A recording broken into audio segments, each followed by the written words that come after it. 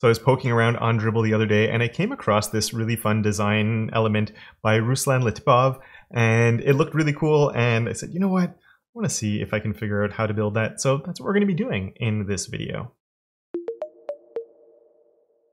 Hello my friend and friends and welcome back to yet another video. I'm so glad that you've come to join me once again. And if you're new here, my name is Kevin and here at my channel I help you fall madly, deeply in love with CSS and if I can't make you fall in love with it, I'm hoping to at least help you be a little bit less frustrated by it and I think one of the best ways to push our skills and to get better at things are finding things that challenge us a little bit. So we're going to be looking at that cool card layout with the shaky thing and all of that and adding the animations, the hover effect, and a few different things. And this is part of an ongoing series that I'm doing where it's sort of no planning ahead of time. I jump in, I do it, so you can see a little bit of my thought process. You can see issues I run into, how I overcome those issues, and all of that along the way. And yeah, I think it's going to be a really fun one, so let's jump right in. All right, so we're ready to get started, and I'm just starting with the basic uh, boilerplate template here. If you're in VS Code, just do an exclamation point, hit tab, and you're ready to go. If you're using a different editor, as long as you have Emmet installed, then you can do the same thing. Um, we're just going to start with the basic layout of this, and I keep thinking of like grid, uh, because I'm not going to do this bottom section. We're really going to focus on these cards. But even you can see like this would actually be like another grid thing. We could center that. Maybe these would actually have to get divided up a little bit more. Um, but even here, like this would be another cell. Um, I just think this looks like a grid type component. But what's eating at me a little bit is the way the spacing is on this. Um, I don't want to set a specific height on it, so I'm not actually sure the best way to approach this, but we're just going to do a, uh, we'll just call it, um, I'm going to call it an offset card card grid, I guess. Um, just because, you know, we have offset cards and stuff. Maybe not the best name, but that's what I'm going to call it. Uh, naming stuff is hard. And that's just pretty much going to have a display grid on there and a little bit of other things, um, setting up the grid itself. And then in there, we don't need too much. Um, I'm just going to make one card for now, and then we'll sort of copy and paste it, because the one individual card actually does have a lot going on, because we need the card like this, but then we do also have like the, the expanded view of it. Um, so we sort of need to handle both of those. And interestingly, I just noticed the font size doesn't look like it's changing. That's annoying. I was hoping, I just assumed the whole thing zoomed in, but uh, that's okay. That's okay. Um, so let's take a look here. So we have the card itself. Um, maybe this uh, card, it is a card type thing, but it does a little bit more. So maybe like, um, we'll call it fan fancy card. just because it's not a normal card, it's a fancy card. And so we have my fancy card, and in the card, we obviously, we're gonna need the title of it, so let's do that. Um, we'll say it's an H2, just because there'd be other content, maybe it's an H3, whatever. Um, but we'll say H2 for now, and we'll just do this one, device, device, mockups. Uh, when we're looking at it in this view, we only see that. We have the number that's there, and I'm, I have a few different ideas on how we could do the number. I think what I'm to do is just a span with a fancy card number and this we might actually be able to like programmatically get it to go up in number but for now uh, I'm not super comfortable doing that so we're just going to do like a forward slash with one in it. Um, and that span I am going to also come on this and actually put an aria uh, hidden equals true just because I don't think it should actually be visible for area to like if, if there's a screen reader going through this they in depending on how you set this up maybe this is actually a list or whatever it is but it doesn't need to like say the number. Um, it would actually you know it's easier just to get we're on device mockups now and now we're on to the next thing and now we're on to the next thing. Um, so I, I just think that it doesn't need to be exposed to screen readers personally. It's more of a decorative element. Uh, so this actually we'll give this a class is going to be equal and normally I'd probably come in more heavy with a uh, fancy card title We'll go more BEM on this actually. Uh, title. We will be using Sass, uh, which I said in the intro, but it does make it a little bit easier to deal with the fancy card here. Uh, with nesting, fancy card title, that should be okay. We have the arrow that's going to come in. I don't have an SVG for that yet. So uh, isn't there, can we do an arrow HTML, arrow HTML entity? Do we have one that we could do? We could do that. Um, we'll just come in with you. Um, and again, I, I, see this as a bit more of a, a decorative element, um, but let, let's just come in. So we'll say, I guess a span, again, is fine, um, just to have it there. And let's hit save. And actually, I don't even have this going. Let's go take a look at what this is doing uh, and what this is actually looking like. Um, there we go. So yeah, nothing nothing too fancy yet, as we would expect, but at least our arrow is is coming in there. And so we get that, which actually looks a lot like the arrow that we want it to be. Uh, and again, on this, we'll do a class is equal to fancy card arrow. And we'll also do an aria hidden is equal to true because it doesn't need to be exposed to screen readers. Um, the last thing we do need in here is also all those images because when it does shake, actually there's more than that. Hmm. No, I, I think, okay, so when it does shake, we have these, one, two, three, I don't think I have six. One, two, three, four, there's six. I might only have five images saved, but that's okay. Now what I don't know for this, is it easiest just to throw the images here? Or is it better to organize them differently? Like should there be a parent or is the parent, I am just gonna throw my images here. Uh, so I'll do the, I've already got my images right now, so they're just in my uh, image folder, device one, whatever. Um, a laptop with some code with VS, I think it's VS Code anyway, VS Code open. Um, so there we go, we have the image, and then, yeah, we need, oh, you know what, I, I, we're only going to make one of these cards work. I didn't save different images for all of them. I just realized that. Uh, so let's just duplicate this uh, five times, and we have my O2, my O3, my O4, and my O5. And obviously all of these are going to need uh, classes on them. So class will be equal to uh, fancy card image. Uh, if you want to know for just placing the cursor like that, I just middle mouse click and then you can drag up and down to place it in multiple places. Or you can also hold Alt uh, and then just click wherever you want to place your mouse and have multiple cursors that way. Um, cool. So I think that's about it, what we need for an individual card. And so let's hit save and go take a look just there. There we go. All of those images are coming in. Perfect. And uh, yeah, so we should go to my CSS now, I guess. And so uh, I am going to be using Sass, as I mentioned. I, I, set up like a whole bunch of stuff here, but I don't think, I think I'm just going to use my main.scss here. Um, and we're just going to do this like the real old fashioned way. And so what we'll do is we'll do a Sass watch. And um, so yeah, we're going to keep the Sass very simple in this video. I just want to take advantage of nesting and maybe a couple of other little things along the way. Uh, so if you're if you're new to Sass and you don't even know how to get it up and running at all in your system, I have talked about it in videos before. I'm not using the extension. I've heard that there's a new extension that can compile using Dart Sass, but um, I'm not going to stress too much about that. Uh, just because this is so easy to do it this way. And I wouldn't be doing it through this way if I was working on a bigger project or anything anyway. Uh, there's other things we can do for that, uh, which I've also talked about. There should be links and stuff in, if you're curious about Sass. Um, so Sass watch, we're going to go into my SCSS folder. And, uh, and actually, let's just come here. So we're going into the SCSS folder there, and then we're just going to go to my main.scss, and I want to compile that just to my main.css. And so you can see it's compiled it, and if we see here, it's created this main.css file. So let's just make sure that that's actually working and that it's linked properly. Uh, so link CSS, hit tab, and then change that to my main. And let's go into my SCSS file now and just do body, background is red. And if that's working, we should see, there we go, we have a red background on my body now. I always like doing that early on when I'm working on something to make sure that it's actually connected, it's working properly, because the amount of times where I'm debugging something only to find out there's a problem with the links between files um, drives me nuts a little bit. um, and I, I, did say we weren't going to do too much sassy stuff here, but one thing I am going to do is Andy Bell modern CSS reset, which is the reset I use most of the time these days. And we'll copy that to clipboard, and I will come into my base here. And in my reset folder, let's just make this a little bigger while I'm doing this part. In my reset folder, I'll uh, file, I'll say, I'll paste this in. Um, and by pasting that in there, then what I want to do is, do I, will we do it? Okay, we'll do this a bit more the proper way. Um, so I'm just going to come to my index here and do an at forward. And I'll explain this a little bit. We're going to at forward my, um, that was my reset, reset. And so what forward's doing is it's going to take that, uh, it's going to go and grab that reset file and it's going to suck it into this index and then spit it out where I want. So on my main here, then I can do an at use and then here we just have to go and say use my base. So uh, it's a relative file path. So we're going from the main to the base folder. And then because this is the index, I don't need to write index. I just hit save. uh, and it should work.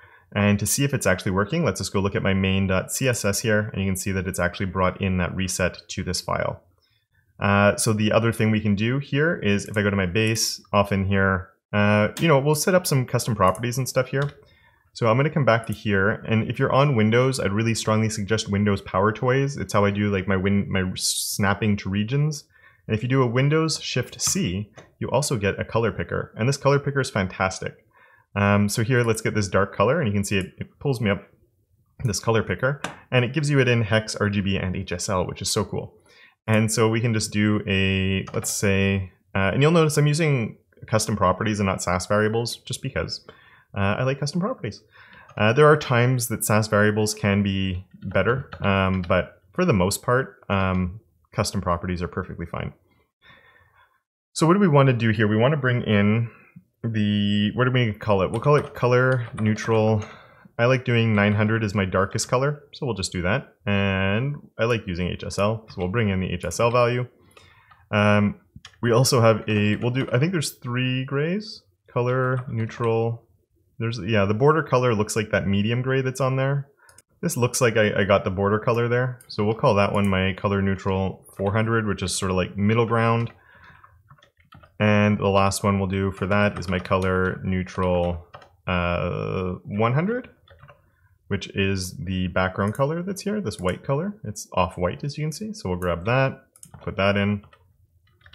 Uh, let's zoom back out here. And we have a color primary, which is the red, uh, which I think is that one, but let's grab it again. It's probably the same as this, which just makes it, mm, not sure. I'm assuming that must be the same color. We'll go with this one and bring that in. And so we have our white, we have our black, we have our gray. I think that's all we need.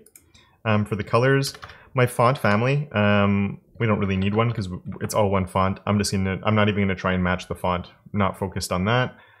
Colors we have, I think we're good.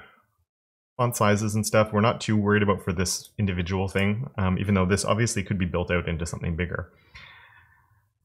Um, so we have all that, so we just have to make sure on my index here, we're also going to do a uh, at forward of the root.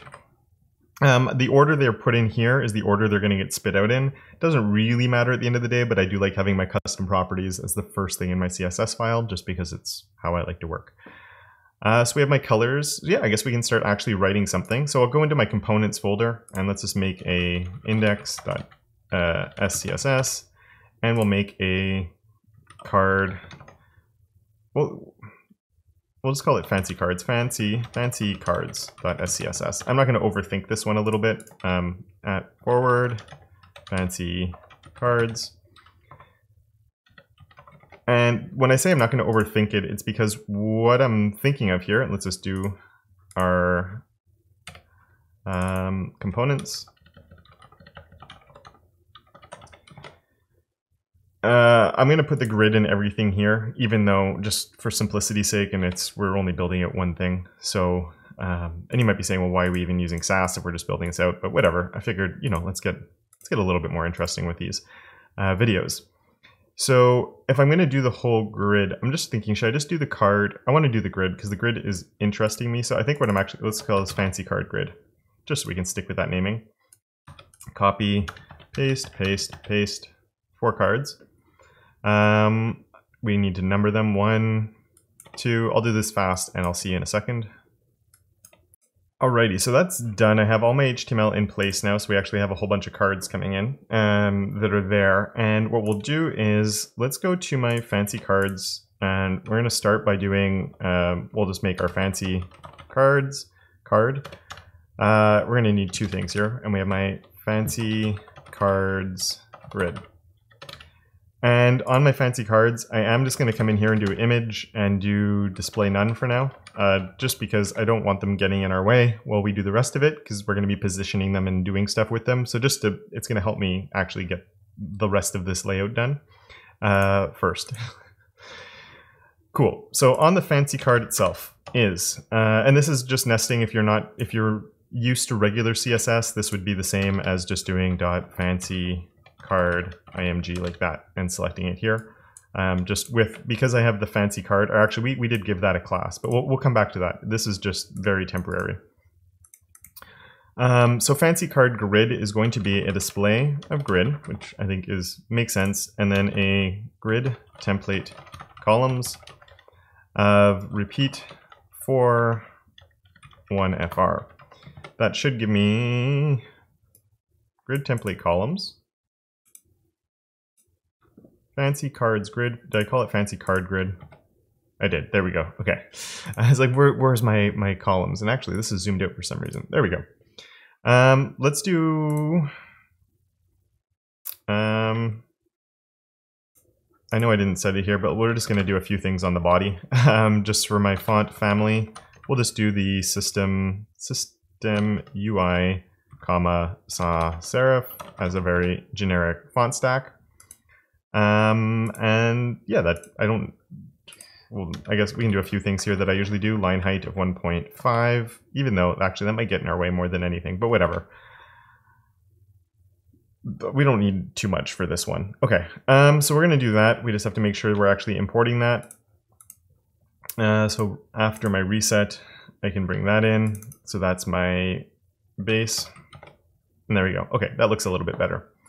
Uh, and here, one last thing actually. We'll just do an H1, H2, H3 font weight of 400, just so we don't, you know, these aren't bold, so we, will make them not bold. And now we can get going. Cool. So we're, we're sort of set up. We're, we're ready to start actually making these come to life a little bit. Um, so I definitely, I definitely, for this to work, I'm going to need three columns, uh, three rows, I mean.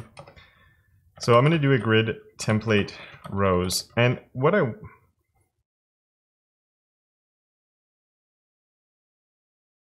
I'm not actually going to make any rows. I want to see if I can do this without making them, and if we need them, we'll, we'll make them as we go.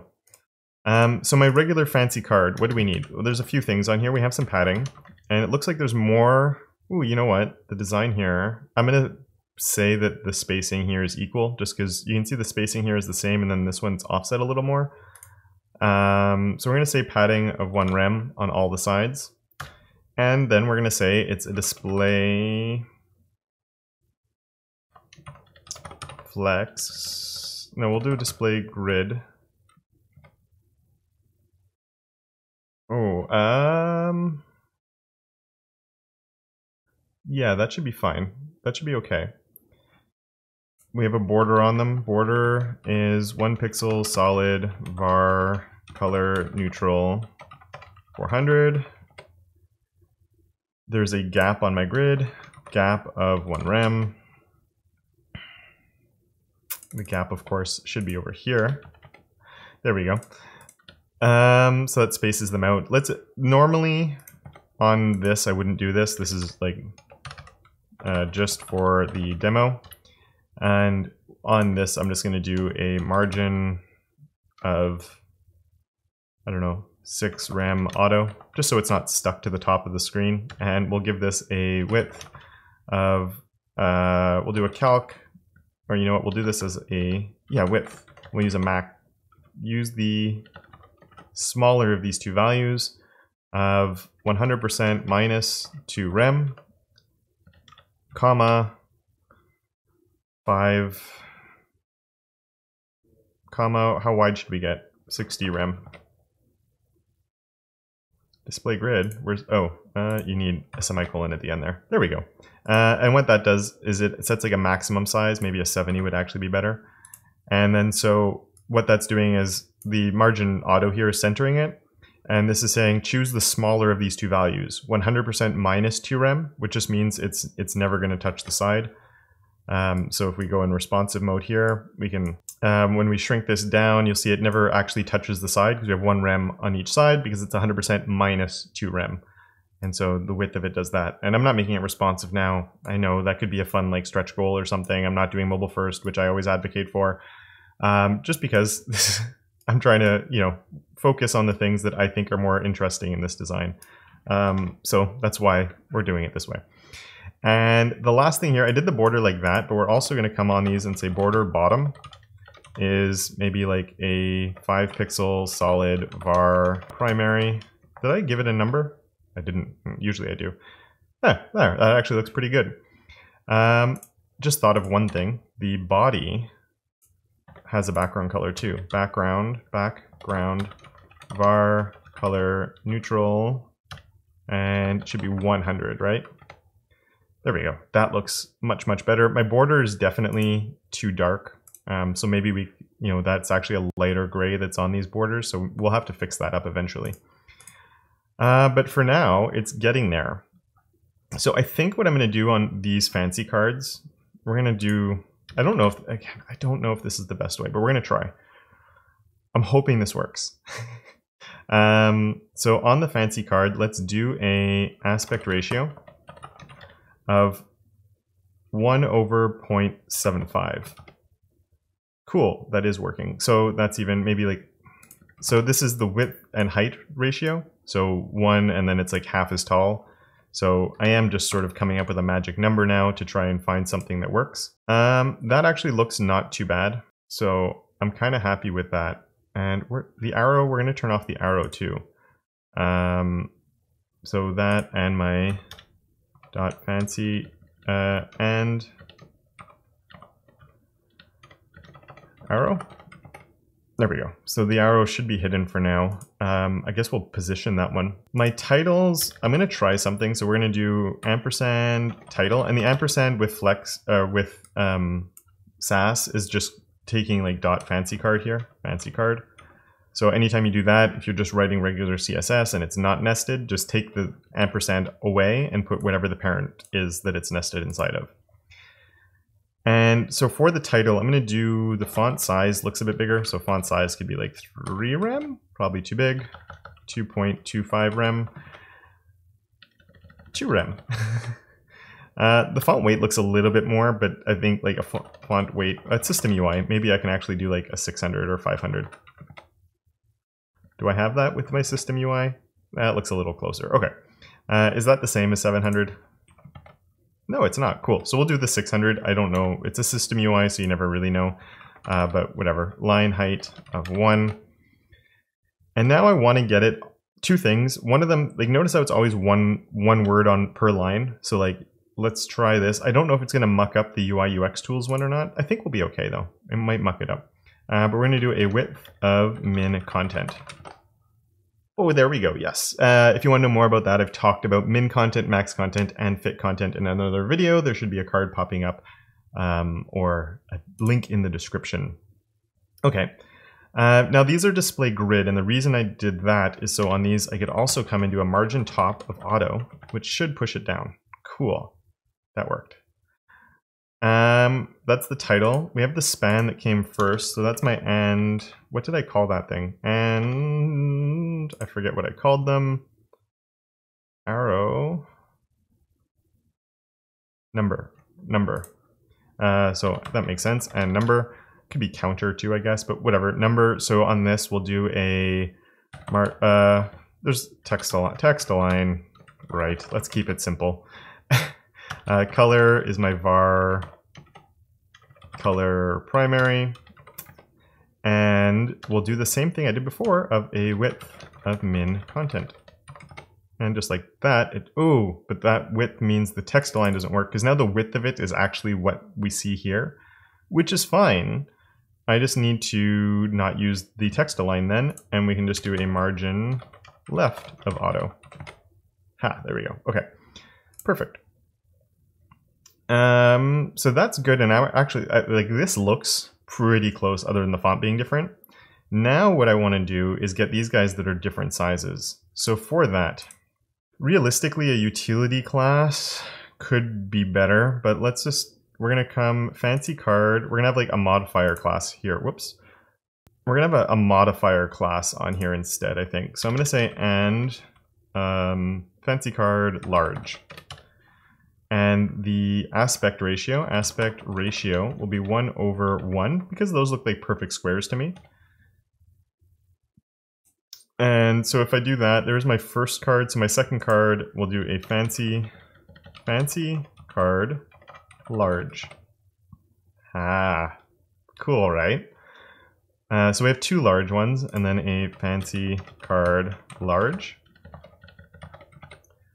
Nice.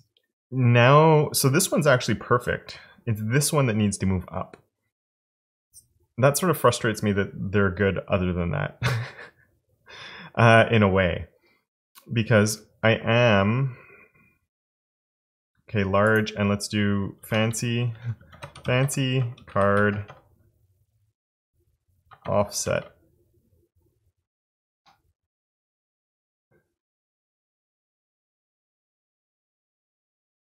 See, this is going to be annoying though, because what I'm, if I do create like a whole set of row, like an extra row here, so I could use a transform and just pull it up. The problem with that is if you had other content around, like it's it's just going into empty space and it could overlap stuff or it could ruin stuff. And like ideally, like as you can see, like this is part, like I think this would actually be a bigger grid. And so we do want this to be like empty, an empty row basically. Oh, okay. We could actually, yes. So that should work okay then. Because what I could say is all my fancy cards are grid column, uh, grid row 2, which shouldn't actually change anything right now. Um, grid row 2 is fine. And then if we have my end offset, it would be a grid row of 1. Hmm uh, one span, uh, one over one span two. Okay, that worked, but not by as much as it's working. Okay, let's look at my grid because I don't understand. I'm glad it worked. Um, so let's turn on the grid. Fancy card grid is there. Wait, there's what? Oh, I get it. Okay, so uh, you don't see it here, but we have like a line one and a line two are basically overlapping each other because they're not. I didn't want to have to like tell it how big to make this. I was just hoping, but it's spanning. Is there a grid auto flow that could be good to put on this? And uh, not uh, auto call auto rows. Grid auto rows of like uh, this could i mean that that's gonna work that's obviously too much. Um but like how so I, I could do that and obviously it's working but like then the alignment of everything goes off and it's not quite what i was hoping for. Um i want the first row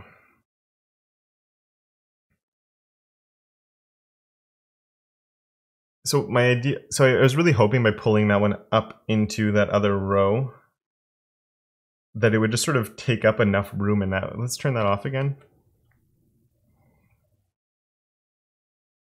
Oh wait wait wait. Let's try one okay. So if i if we didn't do that whole weird thing they were all lined up together? No they were both sticking out the bottom because these just happen to be taller than those which looked good with this one, but it might actually be a little bit of what's causing this to be a problem. So I'm going to do an offset up.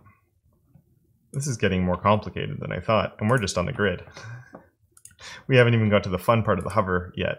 Um, so that's my fancy card there. So here, my offset up. It shouldn't even be a grid row one, ideally. But whatever, I'm gonna, we'll stick with this for now. And then an and uh, and offset down will be a grid row span 2. And did I do an up on both? I did. Down.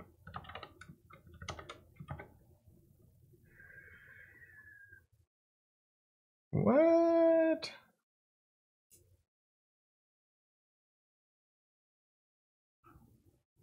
Two over span two? 2 over span 2. That did fix it. Okay, good. Uh, what I don't like with this is these hard-coded values that I've had to put in. Um, but I don't really know of a way to overcome that, to be honest with you. And this is something that would make me think this would actually be, there might, maybe there is a way, if you know a way to overcome this and have to do this.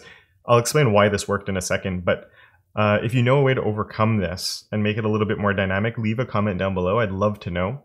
But um, this is somewhere where maybe a subgrid would actually be really nice because you could have the parent grid, which is setting up an entire grid that you could use, and then you could have a subgrid living on here, and subgrid's coming. It's going to be here, but we don't have it quite yet. So uh, outside of Firefox. So for now, this I think would work, and then you'd have all these other elements on like the same grandparent grid, but then anyway, subgrid's going to come.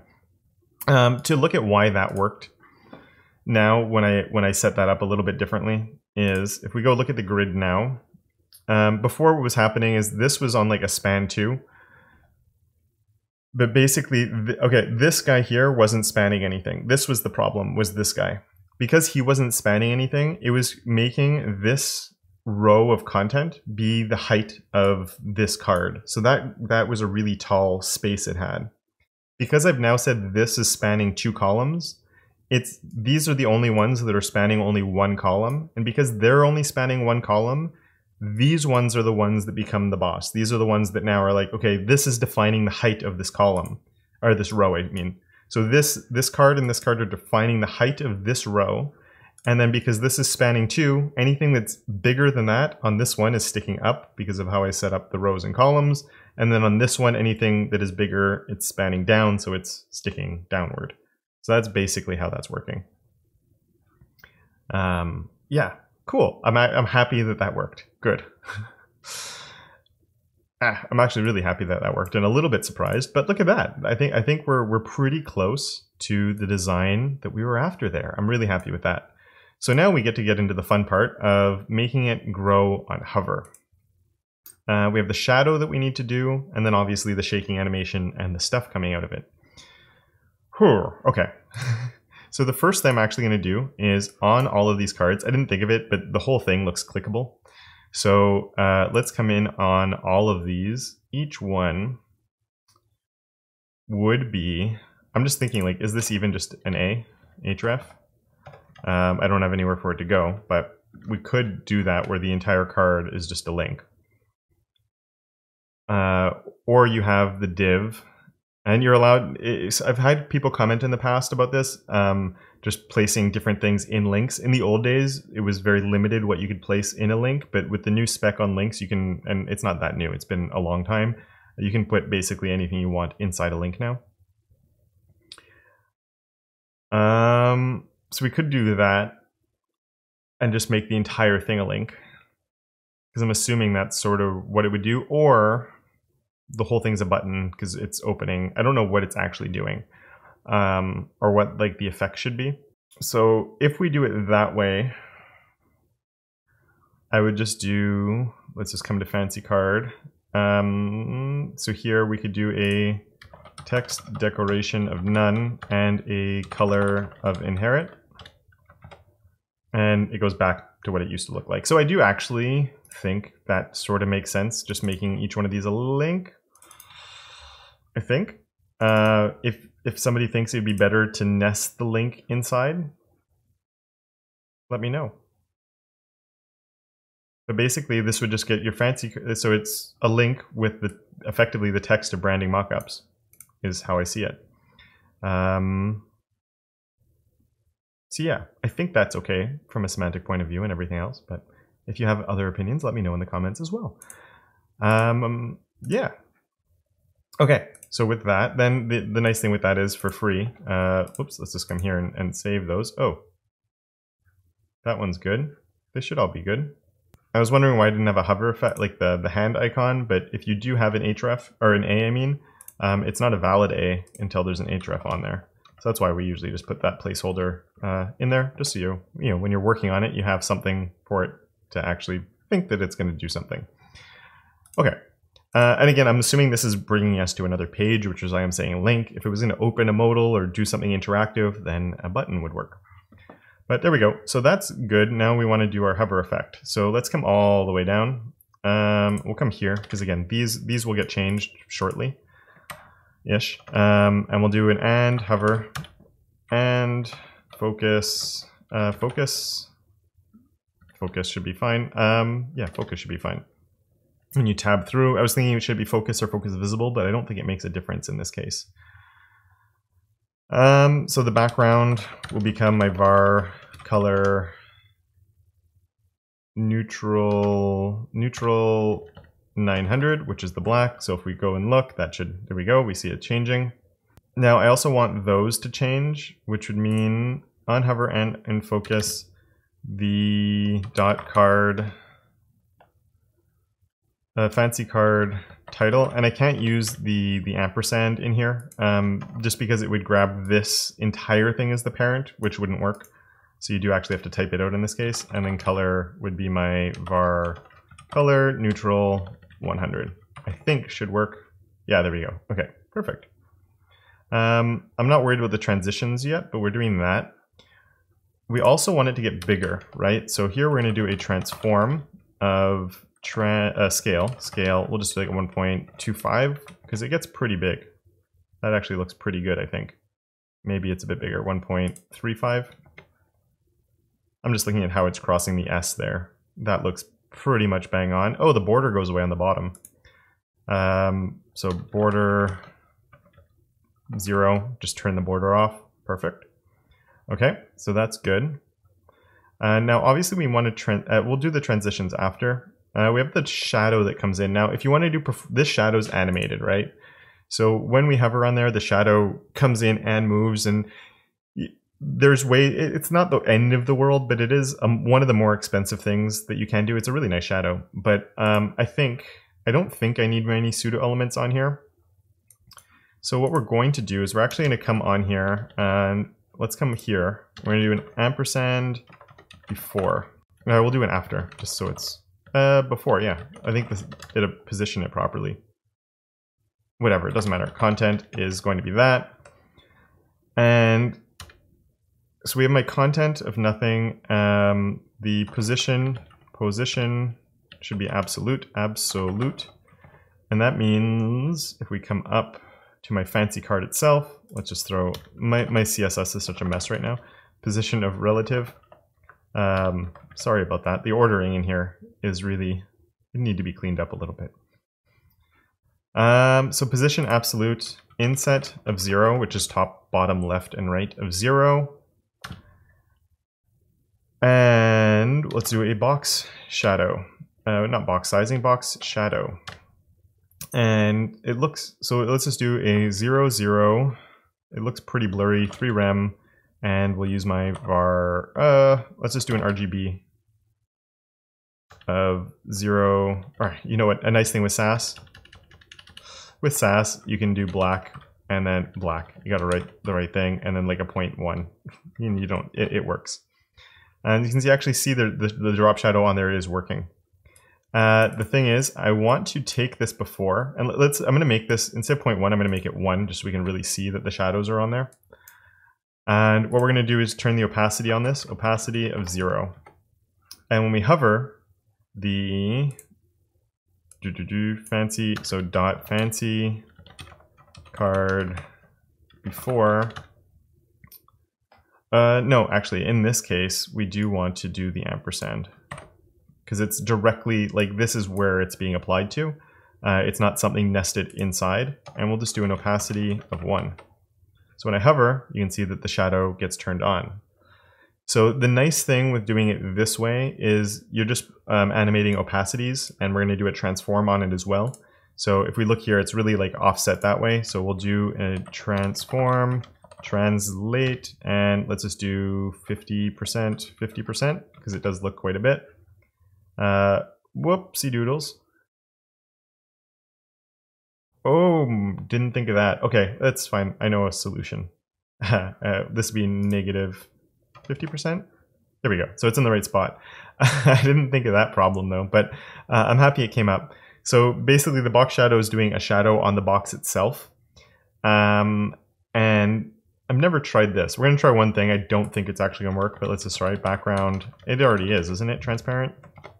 Uh, yeah, it already was. Okay, so instead of a box shadow, what we're going to do on here is a background of black and a filter of uh, blur. And let's just try 3M. And there we go. Cool, right? So when we do that, it will go like that. Uh, it looks like it's on top of my card because it can't read the text. So let's just throw a Z index of negative one on there, which should pull it to the back of everything. Good. And now we just need to soften it up. Uh, I was going to make it not black, but because we already are just playing with opacity, we could just make the opacity here like 8.2. Um, so we get that shadow effect.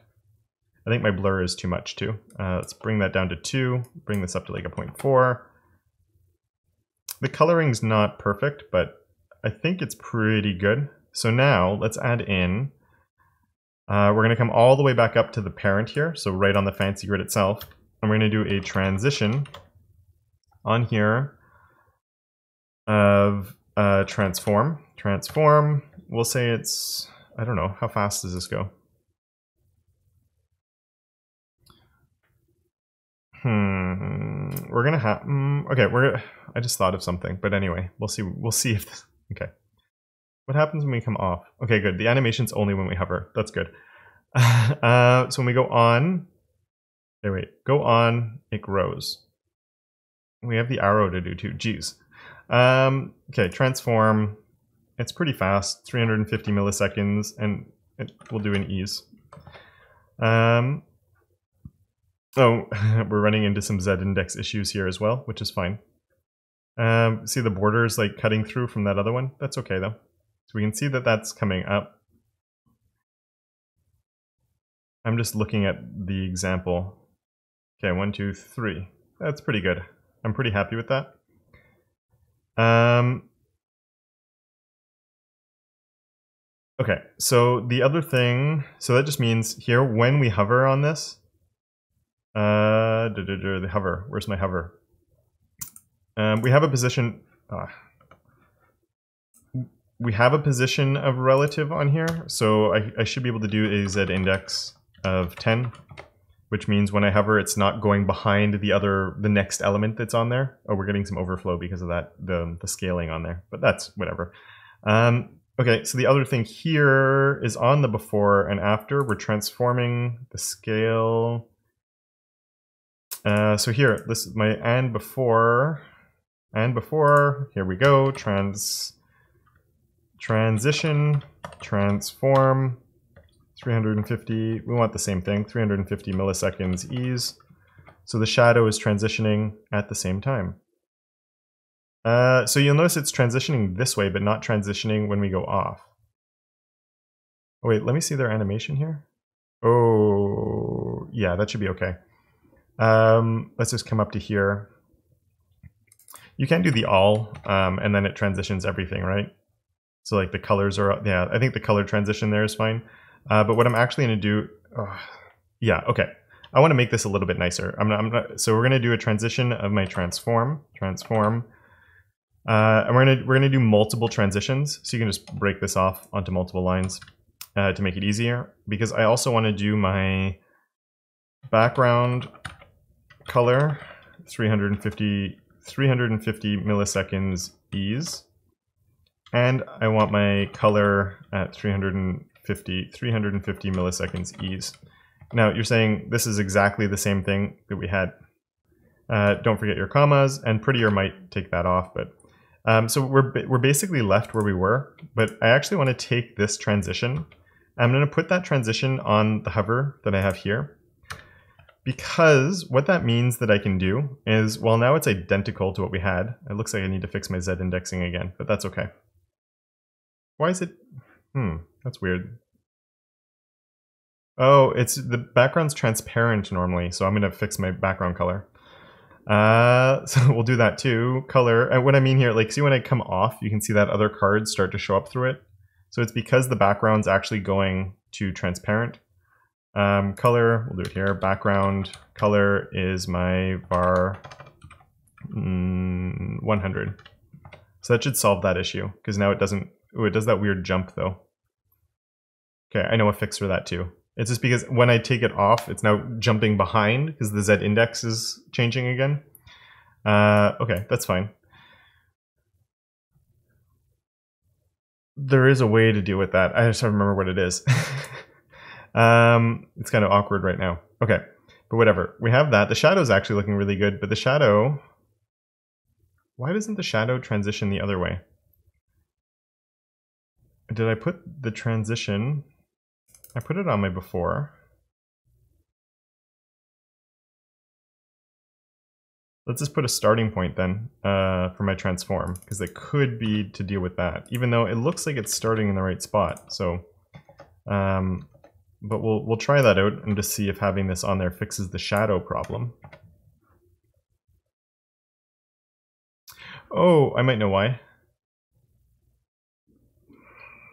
No, this is always there. Oh, the opacity is not um, transitioning. Okay, that's fine. So again, same idea. We can transition my opacity for 300, 350 milliseconds ease.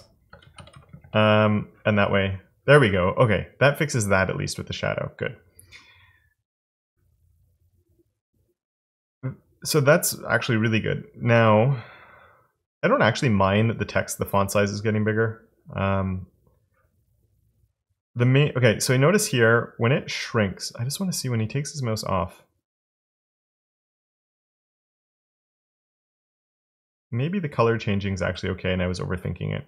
Because I was thinking that we could leave the black on until it's all the way back into position. Um, which is why I was giving me yeah, I don't think we need to do that because my idea was that it would grow, then it would shrink back and then change color. Um, but I don't think that's what's actually happening. I'm just switching tabs here so I don't have to keep watching that animation. Um, so let's just, I, I want to just see if I do all here. Um, I just want to see if it mucks up my, the Z index is still busted. So basically, uh, yeah, I'm going to leave all of these here with the transform but we're going to come in and do one more transition here, which is actually going to be z-index. And z-index is something you can't actually transition, uh, but we're going to the z-index of 10, I think I put, right? Um, but the problem is as soon as I come off from hovering, it's no longer at 10, it's instantly going down to zero. And what I actually want to do is make that delay. So I'm going to do, the, the time doesn't matter, so we can do like a zero millisecond animation, but I'm going to put in a 400 millisecond delay and we'll just say linear because it doesn't really matter. And so now the so the animation duration doesn't matter, but the delay, it's going to change the z-index after 400 milliseconds, which is after, or you know what, this could even be 350. And this would be a nice place maybe for a um, either a custom property or a Sass variable, just so you're not repeating yourself if ever you wanted to change your time. Still, oh, it's not working, uh, but I think if we actually declare a z-index like we had before with that other issue with our transform. There we go. Perfect. So yeah, you just want to have the z-index change after a certain amount of time. So as the animation finishes, the z-index is then changed. Um, one thing you'll notice is we do obviously need to actually put an animation on this, but I haven't put in an animation for the including the growing and everything else just because I find like there's too many variables. Whereas here, like the hover is just controlling right now this one thing, and then the animation itself is just going to be the shake. Um, and I think we'll do the shake and maybe the children coming out potentially, um, all as part of the same animation. Um, let's fix our arrow up first though, and we'll get the arrow working and then we'll see about that shaking. um, so the arrow was, let's go all the way down, am I and arrow of a display none. So instead of that, for the arrow, let's just come back up. So it's I'm coming up just because here's my before, my after, all of those other things. So here's my title. We'll come here and we'll say and arrow. Position absolute. Uh, and I'm just doing this at position absolute because I want to pull it out of the flow a little bit. Um, I didn't set up like a grid here within my markup. I just have this arrow that's floating around. So I just think this is gonna be a lot easier. The parent is already position relative. So I can do absolute and then do an inset. Uh, so we're starting at the top, auto. If you don't know about inset, I have, I'll link a video in the description that goes a bit more, but basically my top is auto, which means don't worry about it. My right will be one rem, my bottom will be one rem, and my left will be auto. My images came back. Why did my images come back? Oh, whoops. Uh, display none. Ah, there we go. And now the arrow is in. Cool. Um, and this is somewhere you could make this a little bit better um, or more maintainable. We might actually have to do that with these durations as well. But you can make this arrow a little bit more maintainable because you could link this rem here, that sizing, to the padding that's on the card because this is one rem. So like I could do this as my, say, a custom property of padding. Then here I could do that as my var padding. um, save. So that's exactly the same. But then I could come and replace these both with my var padding. And the advantage of doing that is if ever, so now if I have that with that custom property, the cool thing is you'd come in here and you change your padding on the element. So this becomes two because the design changes. That's going to shift, the, that arrow shifts along with it. So it just, it helps keep things a little bit more consistent. Um, we'll put that back down to one. Because I did it as an HTML entity, uh, to put that arrow in there, we can just come in on here and choose a font size. Font size of 2 rem and uh, color of var color primary. Um, my positioning actually looks a little bit off, and I guess I got a little bit too clever. Um, I'm just going to 0.5 rem. Uh, I guess my, my idea there didn't actually work, and I think it's just because of the the, the way the font, it, because it's a font, it renders a little differently. Um, so okay, not perfect, but well, good enough. At least this side will will automatically update. Uh, and of course, you could do like a calc on that with your padding, and then okay, I, am talking about it. We might as well do it. Um, so calc of var padding divided uh, padding divided by four. Um, so again, now at least it's consistent when you update it. My arrow looks a little bit different. It'd probably be an SVG normally, and you can just position it exactly where you want. But good. Now we'll just do an opacity. Uh, we'll do the opacity after, just because if we come and look at the animation, uh, it comes in. Let's just look at the arrow. It sort of slides in that way. So it's obviously easier if you can actually see the arrow when you do your animation. Uh, whoops, let's bring this up. Uh, there we go. Okay, so I want to see the arrow while this happens. So I think the easiest thing is actually just to set things off a little differently at the top. So transform, translate, uh, we'll just do a translate x because it's the only one that matters, negative 50% maybe.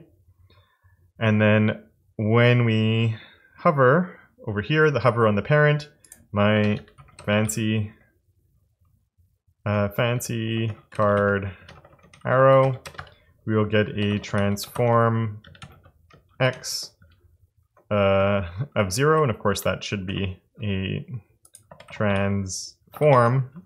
I always do this. Translate x would probably help a little bit. So when we do that, and I, I might have mucked it up up here, did I? When I did, I, I always transform, translate x negative 50. I just want to see, is that moving it? It is moving it. That's my, and arrow. Yeah, double underscore arrow. Fancy card arrow. Oh. When I hover, so there we go. It's You can see it's, we have a little, oh, look at that. When I go on the shadow, because the shadow is part of it, it's including that. Um, so on, what we can do on that actually is on the before, we can just throw a pointer events of none on that. So it doesn't record when the mouse is on top of that. So now it works a bit more as expected. It's more of a decorational element that's not actually part of the element itself. So now my arrow is moving over, which is perfect. Um, we'll just transition that. So and arrow, transition, transform, 350 milliseconds, uh, ease in. So now when we hover, it slides over. And then we also will want the opacity here. Opacity, opacity to be zero. Uh, you'll notice I'm only transition transitioning what I need to be transitioning. It's just a habit that I have. Um, but trans, for, uh, not that, opacity, opacity of 303, 50 milliseconds ease in, uh, or whatever linear for that. If you're always doing the same this thing, this part, uh, and just changing the properties, you could save this as a custom property. But if you're always doing the same, like say you have a cubic Bezier here and you don't want to have to repeat it, you could do like a custom property. And you could have three, right? You could have um, animation duration and do 350. I'm doing it here, not the root, but we could put it wherever you need. Animation, um, what's it called? Timing function. So timing, or just let's put function to make it easier uh, function and ease in for whatever, but say it's a cubic Bezier or whatever. And then you could have like your animation uh, animation props for properties and then do var and actually like br bring both of those into here and have both because you can store whatever you want in a custom property. So you could store both of those into your custom property and then you're just bringing this one back in whenever you need it. Um, I'm not going to do that for this, but um, yeah, just as an idea. And so we have that. We have my opacity on there, just prettier on wrapping. Um, so it just means over here, the fancy card arrow also gets an opacity of one. So now when we go, it comes in and goes out. And actually, if I look at this, it looks a little different, doesn't it?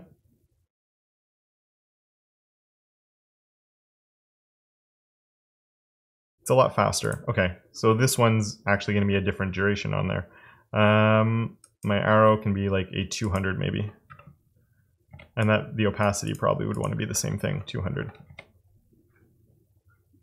Yeah, that looks more that looks more in tune with what we had. There we go. Perfect.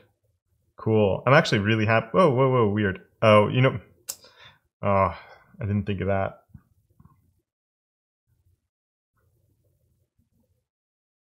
So it's only problematic if you go this way and not if you go that way. Hmm. Okay, we'll have to figure that one out. I have a few different ideas on how we could fix that.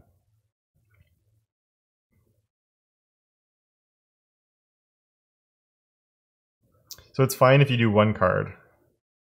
But when you jump between them, because there's that delay on the Z index changing, is it that way's fine, it's that way that's the issue. Hmm.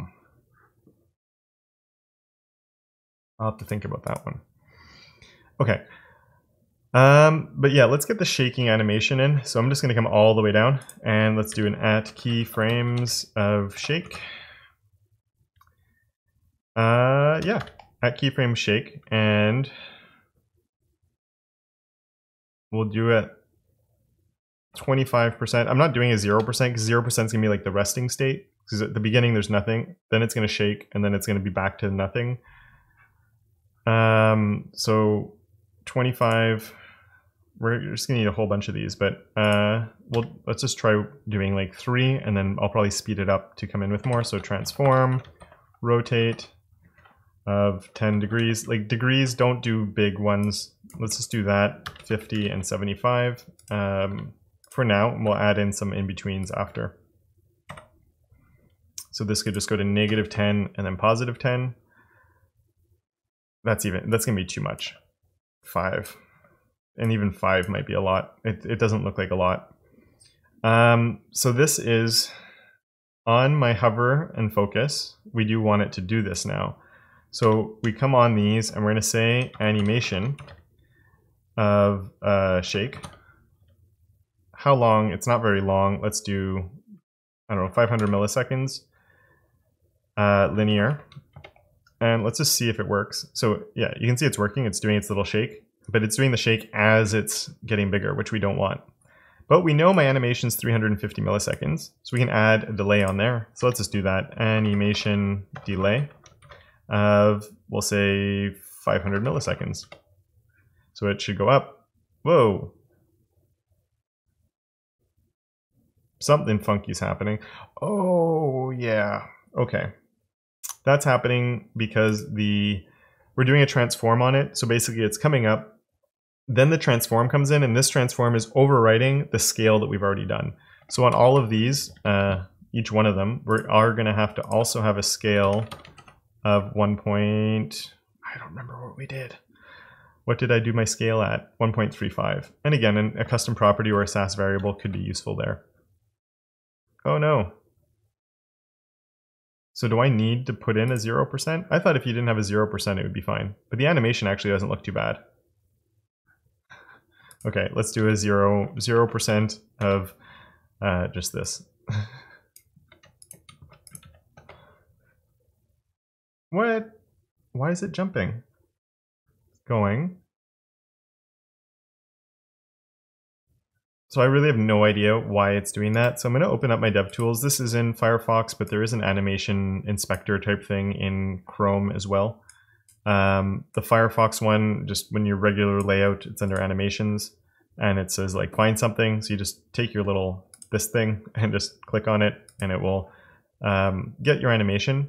Now it tries to save the anim so you can see like here it's gone through all the animations and stuff. But what I'm actually going to do, yeah, we have the right thing selected. So there we let it do the animation and then come off. Let's try it again and then off. So what it's doing is it's actually say, like we can go through and look at the animations that it did. So let's just do go on shake.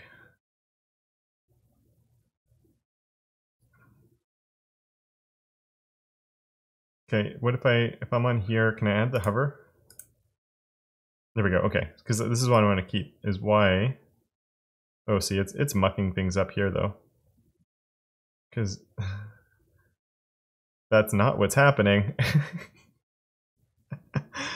oh my goodness. Here it looks good. Look, it's it's well growing.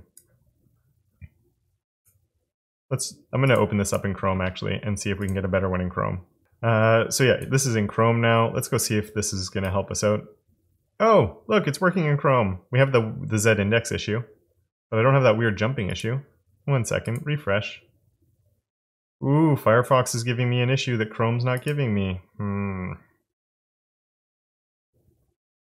Okay, what I'm going to do for now, let's fix let, let's fix the I'm going to we're, we're, switching over to Chrome for a minute cuz I'm happier. um, so I'm actually to add in like a couple of these. Uh, one and two. This could be at say 40 50 this could be like a negative 2 then at 60 it goes to uh, maybe that'd be a pot. So 5 to negative 5 to 2 to 5 to negative 2. Let's see what that looks like. Oh, I sort of like that, that it speeds up a little bit. So like, it's like, I, I like how that is. It doesn't match exactly what theirs was, but I think it actually looks pretty good uh, with how it's working overall. So I'm going to leave it like that. I think that's pretty good. Cool. I'm happy with that. Um, now we want those images to actually show up. so for the images, and this is where um, things are going to get a little bit weird, I think. What I need to decide, there's... Yeah, okay, so for the images, display none isn't going to be on. These images, it's going to be my and uh, image is what I called it. And we're going to do a position of absolute on them. Um, and a z index of negative 1, so they go behind. That didn't work. uh, why are they not behind? Is that index? Because they're in my parent, and my parent has a stacking context, so they can't escape out of that stacking context. Oh man, I know how I can fix it, I just don't want to have to do it. Um, that's okay. Top zero. Uh, I'll do a bottom zero. Bottom zero. Um. Okay.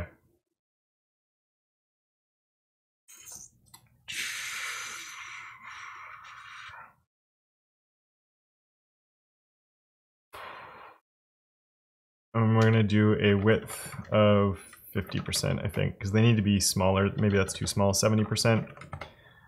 Um, that will do. Now, oh my goodness. Oh, that Z index thing is really bothering me. Okay, so we can do that by, let's come all the way back up. Um, instead of the background actually being on the card itself, because what's happened now is I've set a Z index and a position relative on the card itself which is creating a stacking context. And because it has its own stacking context, the children inside of the fancy card can't escape out of that. So the negative one is layered within the card and it can't go behind the card that it's inside of. This is often a good thing. Um, but here I want these images to go below. You could probably do it with like net like a parent div and then sort of more of a content div. But in this case, I could do it with um, an after. So we're just going to keep I'm just going to steal these from here, all three of these. All four of these. No. All three of these. Okay. Because um, what we're going to do is we're going to say an and before, comma, and after. Um, and then we want to and paste that in there. So, okay, then, oh, that's gonna be a problem. Anyway, we'll fix that. Uh, just the, any of the child, the images are sticking out the top. On here, I will do the background of var color neutral 100. Maybe you see where I'm going with this now. Uh, and then on here we do a Z. Oh no, I don't. This this one would go only on my after. So and after. So the after would actually make more sense as the shadow maybe in this case, but whatever. Uh, it won't matter at the end of the day. And so Z, Z index will be a negative 5. So, yeah, oh, uh, negative 2? I just want to, uh, there's a few weird things happening now. Oh my goodness, why is the borders doing that too? Oh, the border's turning off, and then this is staying Right, right, right, right, right, right. Okay, so there's that. And then we're to do transition of background color 350 350 milliseconds ease um, because instead and then then ah, this is getting complicated for anyway after um, background color becomes my color, neutral 900, which is my black. And now, ah, there we go. Okay. How come this way?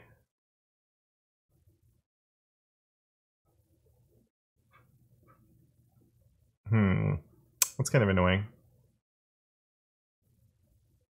Okay, so now let's go see there. That's my so this is the shadow is negative 1. The shadow should actually be all the way in the back. So we'll throw a negative 3 on the shadow, a negative 2 on the background color now. So that background color is my shadow, uh, is the after. And then my images should be, oh, you know what? This will be a negative 2, and then this one will be a negative 1, because that's the background color. There we go. So now we can't see the images. Perfect. That's exactly what I wanted. Good, good, good. Um, another thing, so the image, some of the images are tall. Uh, so width, so actually I think what we'll do is set this, instead of a width, we'll do a max width of 70% and a max height of 70%, which I think won't cause any weird stuff to happen. Uh, yeah, I think that won't cause any weird stuff to happen we're there. So the idea now is the background color on the card isn't from the card itself. The background color is that pseudo element. So we have the background color is one pseudo element, the shadow is another pseudo element, and then in between those two, because of the Z indexes, we now have my images. So the images should stay on top of the shadow. Now for the images, we want to add an animation to them. And this is where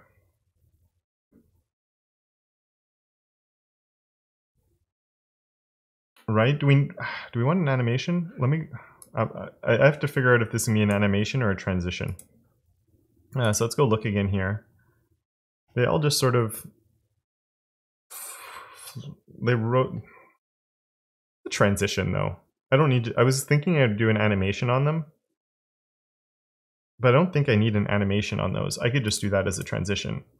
So this whole image, I'm actually going to take and move it up uh, within my Sassy stuff here to go right here. So I have my arrow and then I have my images just to keep like all the individual nested components together. And then I get into these offsets. Then I get into the pseudo elements and then I get into the hovers. And then so we have my title, my arrow. Let's turn off that animation because it's not fun to watch it. And let's come over to my here. We're going to do my dot fancy card image. Uh, we might.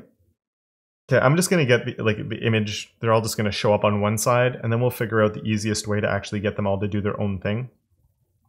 Um, so there will be a transform. We'll do a rotate of 10 degrees and a transform, uh, translate, I mean translate of 20%, 20%. It needs to be more than that, but I just want to see if this even works. Mm. Hmm. That's not working at all. Transform, rotate, that should be working. Let's go see in my dev tools. Because the nice thing with the dev tools, even if you can't see something, no fancy card image. So there's the image, so we can see where the image is. And then if I go in my dev tools, if I go on this and then we can go to the hover state and we can do a focus or active, uh, we can do a hover. So the card is being hovered on and now my image hasn't moved. And the image isn't moving because my CSS is invalid. Transform, what's invalid?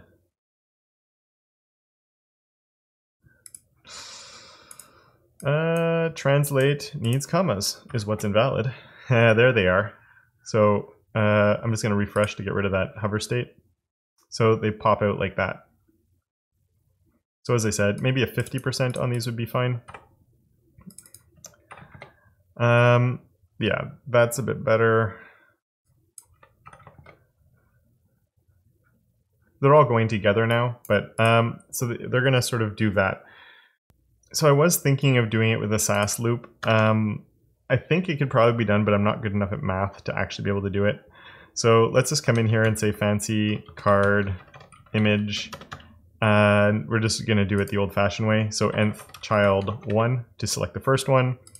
And so when we hover, it's going to move that way. So we're going to do a transform x. Uh, we're going to do transform.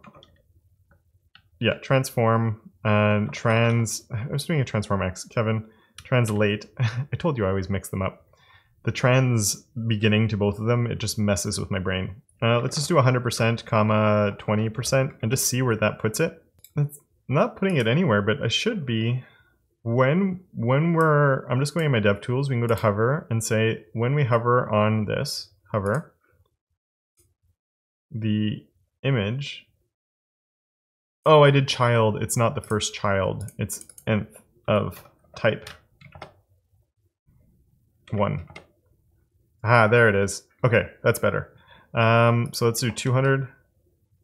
So like a 150. And I don't like necessarily hard coding these values in, so maybe there's a better way of doing this. Um, but uh, negative 10 maybe.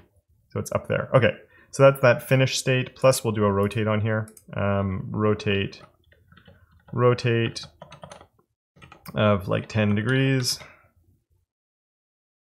That's okay. Then we can just duplicate that line. This one becomes 2. And this will be, say, 120%. And a negative 50%. Uh, no, not, we want like a 50%. It's going to stick down. That's not bad. Then we can just duplicate you. This is the third one, so it's going to come down now. Let's move this that way. Uh, and you know what? This, I guess, could be like a negative 10, just to do that. This one, 10 makes sense. Now we want this to be more like 50% over and then 70% down maybe. So it's further. This could even be like a 20. This could be like a 90. There we go. Um, that's not bad. Meh, maybe even a zero here. Yeah. And this could be like a five. Cool, I'm happy with where that one's at. Number four, whoops, number four. This part's actually easier than I thought it would be. Um, so this one would be a negative 70% and maybe a 30%. Cool, that one's pretty good. Let's just rotate this say negative 15 or something, so it's a little different. And then last but not least is the uh, last one. Not last but not least is the last one, um, which could come back to like a zero maybe there. Oh, whoops, no. Negative, negative 110 goes out that way. Maybe that's too much. Uh, 90. This could come up now to like a negative 20. Negative 40. Too high. No. The problem here is that like different images, it might actually be a little bit different. Um, so that also sort of like throws things out, but I think that's not bad, right? As like an ending space for them all to be spaced out like that. Um, I just want to go see the original one because something looked. Are there Im- oh they actually shoot out further than that too, eh? I didn't realize that. He's willing to like let them come out a little further, and that's why he has room for more of them. And their size might be a little smaller. Um, okay, we could shoot we could shoot them out a little bit more. Look at that. Um, so, okay. This first one, negative, so like it could even be like a 200 then. So it's actually shooting out all the way.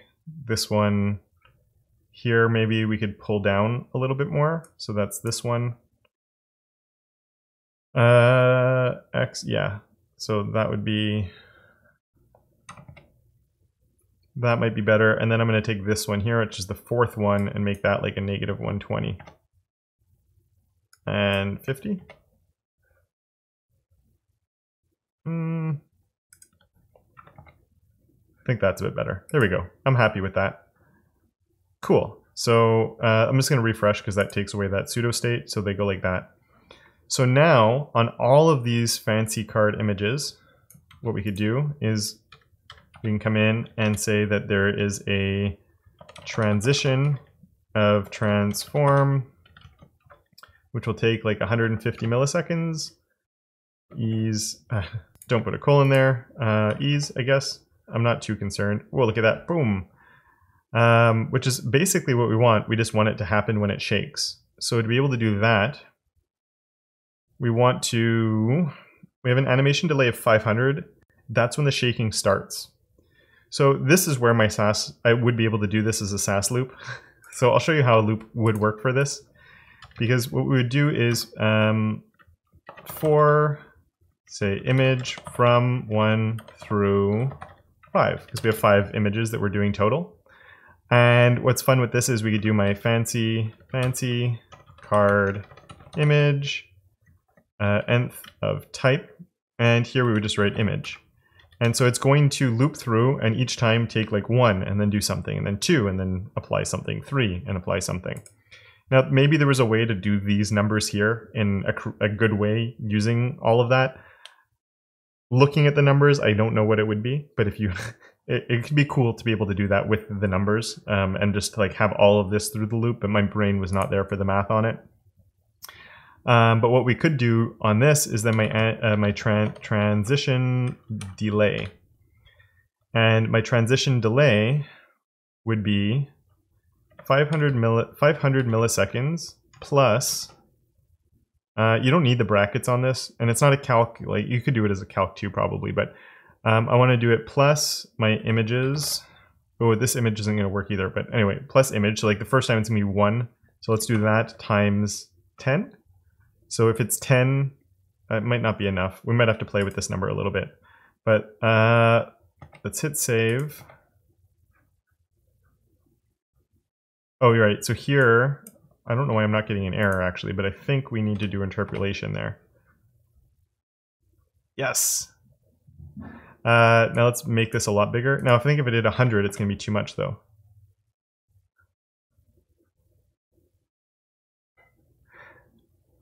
So basically, uh, we can even go, let's go look at the compiled CSS for that. Um, so here's the animation delay. The first one is 600, then we have 700, then we have 800, then we have 900, then we have 1000. Uh, so because what it's doing is it's saying the first time is this number is 1, because we're doing 1 on the first loop. So 1 times 100, then 2 times. Uh, so one way we could actually do that is 0 through 4 instead. Um, or if we want to keep that 5, you could also do from 0 to 5. Uh, and the advantage of whichever one, it doesn't make a difference. So 2 means it's stopping before it gets to 5. but by starting at zero, it means the first animation delay is five, the actual 500. So that might help time things a little. Whoops, we broke things. Oh, that's mucking up my nth of type though. So we're gonna keep this. Um, or no, we could do, you could actually do the same thing through four or two five, but then we just have to do a plus one here to make sure that we get through all of the nth children. Because remember, the first one would be zero, and we don't have an nth of type zero, so it's doing zero, one, two, three, four. So the fifth one was left out. So now we can say image plus one, so it's zero plus one, one plus one, two plus, you, you get the idea.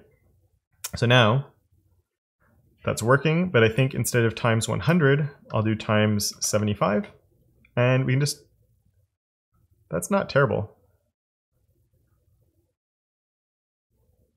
Maybe a 50? I think the 50 is better. Uh, I'm going to do a 550 here. Maybe I... I'm just trying to get like that first... I like the delay on the items themselves. No, that's too far behind.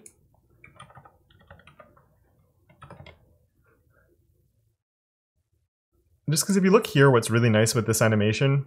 Oh, it's do it has a double shake a little bit though, eh? Yeah, it has like sort of a double shake on it, which we could do, but...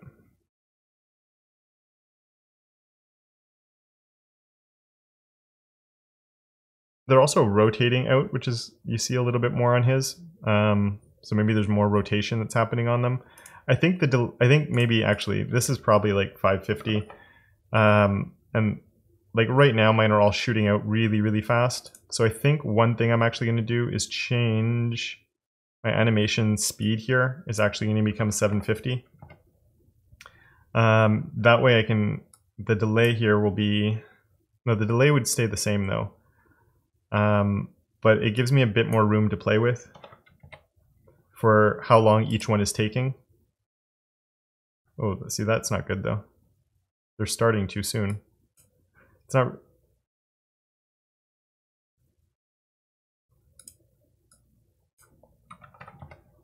So like I sort of want it, there we go. So you, you want the, the shake to already be happening by like, the shake should be happening and there, and then they start sort of flying out.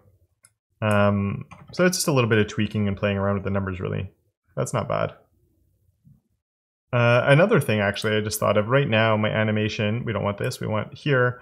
Um, my animation is doing a um, animation is linear. Maybe I actually want this to be an ease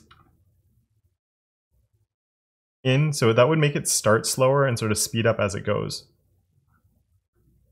Maybe that's all right. There we go. I think that's pretty good. I mean, it's not exactly the animation. We could play with that a little bit, but I sort of think that it gives us that overall feeling of how it's working. Yeah, I'm actually I'm I'm I'm pretty happy with how that's working. Where it's coming out. Um, yeah, overall for me that works really well. Uh, the one issue is here, the Z index issue is back, which I thought we'd solved. Uh, or no, we ran into that secondary one, and of course there's the whole issue with Firefox animation doing that. Because other than that, actually, eh, other than that double looping thing, it's looking pretty good. Let's fix this z-index issue in Chrome. And I have a few ideas, I think, on how to do that. Um, and that is, I think, so my z-index is normally 1. We're transitioning the z-index. What if I transition this? Or no, okay, so the, the delay right now is in both directions. Which I want though. Because if I go like that and then I go down, I want it to work that way. What if I cut this in half? Say we did 175. Oh, I know what I didn't realize. If those are open, we can hover on them, right? So in a way that's, that can potentially hide that issue, but you know what? Uh, we still got it there. Okay. So see how it's like there and then it it, so if it's one card, it's fine. But if they're both in the middle of transitioning, we get that awkward sort of overlap, which I don't even know. It, like, is that the end of the world that that happens? I'm not too sure. Isn't that bad? It's better than what it was. I think it's better than what it was. We st ah, you still get that really awkward part on the text sometimes there, like right there when it breaks through the text. It's not the end of the world, but it's kind of annoying. So I want to delay on the Z index when it's going backwards, but I don't want to delay on the Z index when it's coming forwards. So what I could do, okay, yes, that's what I was thinking. I was just trying to get my mind in the right zone there. So what we can do then is transition on hover. When we hover, I'm going to do one more here. We're going to do a z index 0, 0 ease. So there's no delay on the z index transition. There's no animation. It's just instantly changing when we hover. But if we remove focus, then we get that transition that's actually going to happen on it. So now,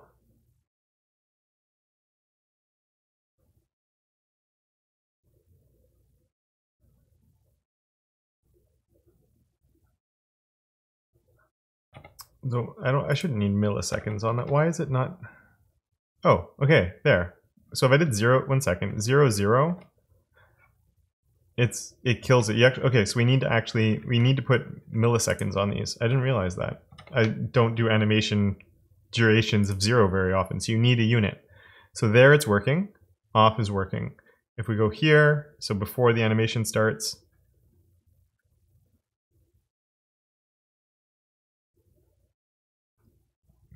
um, I think I think it's the right idea. I think I just want to take the transition delay here even faster. And I don't know, maybe I'm mucking things. So it's working there. See, it's, it's not working quite that way. But it's working better when we do this now because the delay is shorter. Um, maybe there's a better solution to this. Oh, look, that now that looks okay when it's growing. I think we solved it. There we go. Uh, it's still there a little bit, but no one would ever really notice that, I think. So let me just make this a little bit bigger. There we go. So I actually think that's not too bad. We get that. Oh look, that one's all mucked up. Why is that one not? Oh no, because of the positioning on the big cards is actually really good. It's not perfect on the little cards, which is really annoying. oh no. Um, and it's just because the positioning of them to start with is different because the card is a different shape. I mean, that's easy enough to fix. um, I'm not actually going to do it on this one because we got through it all, but all we would have to do is this is on my, um, say on this one, fancy card image, or no, on these ones here, this these transitions would all be set up for my large one, and then we'd have a different set of movements for the other size. But honestly, I'm pretty happy with what's with what it's doing. Yeah, I'm pretty happy with that. That looks good. The shake works. Those come out. Now maybe those should actually do those should those have a shadow on them? Let me go back to the original. Do the cards have the images have shadows on them too? No, they don't. Oh, maybe they do. Oh, they did. Hmm. Chrome, you can put shadows on images. You can't do it in other browsers though, um, just because they're replaced elements and with how it works. So it's not actually part of the spec. You shouldn't be able to, when I say shadow, we could put shadows on them. I could just put a shadow on the images. What am I talking about? That one's easier to do.